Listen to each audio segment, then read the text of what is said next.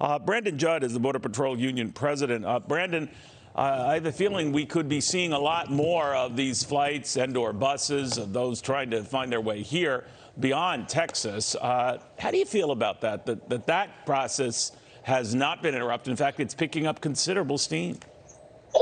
Neil, every single one of my agents and, my, and myself, we're extremely upset. We feel beaten down. We feel like this administration has not given us the the enforcement tools. They've given us the processing tools, but they haven't given us the enforcement tools to stop this crisis that currently goes on. In fact, when we process people through quicker, that just means more people are going to continue to come. That is inviting people to come here. We're hoping for the best, but there's been nothing from this administration that has given us any hope.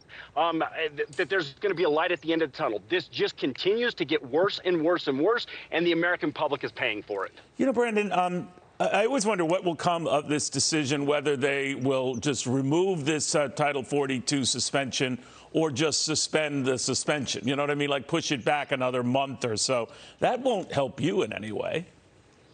No, it doesn't. We've already seen what happens when you cut out segments. Um, as Bill was reporting down there uh, on in Del Rio, when we cut out segments, when we give carve-outs to Venezuelans, Cubans, Colombians, which, by the way, we do not exercise Title 42 on any of those countries, that just invites more people to come. So when you look at that right now, we're only expelling about 55% of the people that cross the border illegally. Um, once that goes away completely, that just means everybody from around the world are going to continue to come. So it's just a band aid to push it back. What we have to have is we have to have permanent solutions. And Neil, you and I have both talked about what those solutions are. And the Biden administration knows what they need to do. They just failed to do it. They, they will not put this, um, the proper enforcement tools in place because they pander to their far left open border base. Do you know, uh, Brandon, whether uh, the administration, if it were to get its way, uh, stop Title 42 on the, on the 23rd, that they're going to beef up uh,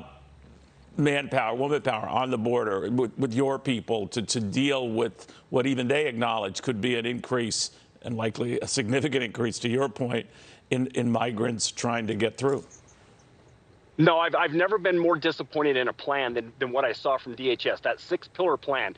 All it's talking about is moving people through the system faster. It's not talking about any enforcement tools except for pillar number three, where they say it's going to be expedited removal. But it's already been proven under the Obama administration that expedited removal doesn't work because all somebody has to do is claim that they have a fear of going back to their country. Then that order, that expedited removal order, is canceled and they're put through the uh, the the asylum process and released into the United States. So nothing in those pillars um, does it give enforcement tools. All it's doing is talking about moving people through the system faster, and that doesn't work. That just encourages more illegal immigration.